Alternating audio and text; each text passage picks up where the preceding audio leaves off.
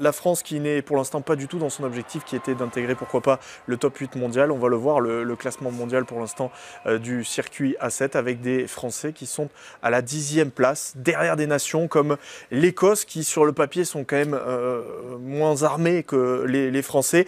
Les Bleus qui doivent notamment progresser, vous en avez parlé avec 64% seulement de plaquage réussi lors de la première journée.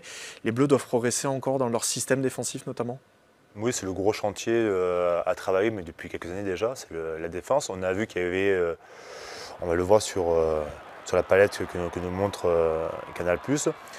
L'équipe, malheureusement, défensivement, elle n'est pas assez replacée. Là, on voit trois défenseurs sur, le ruck, avec Veridamou qui est, qui est en ligne de connexion. Et on voit que la ligne n'est pas, connectée. Ça, fait, ça ouvre des portes énormes. On voit une porte de 12 mètres entre la garde et Veridamou.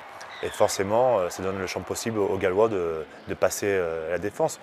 C'est un problème de connexion. Hein. C'est-à-dire que s'il n'y a pas de connexion en défense, mais malheureusement, euh, on ne va pas défendre collectivement.